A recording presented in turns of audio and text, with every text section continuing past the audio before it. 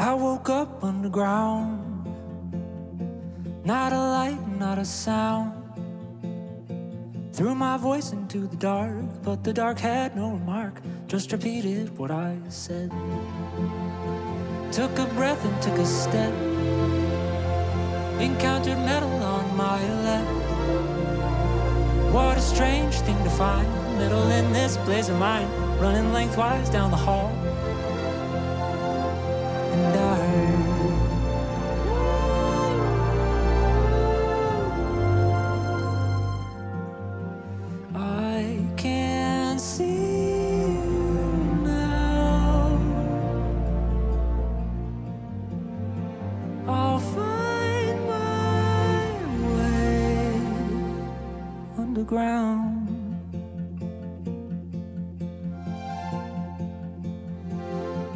Then a light broke through the black.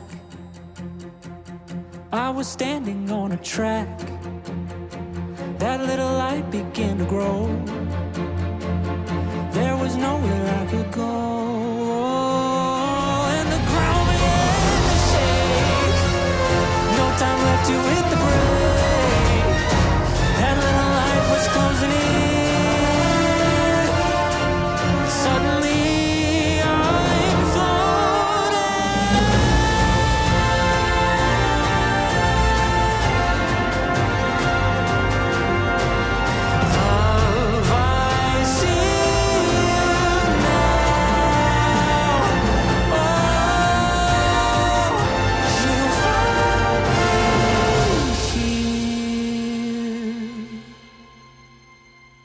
ground.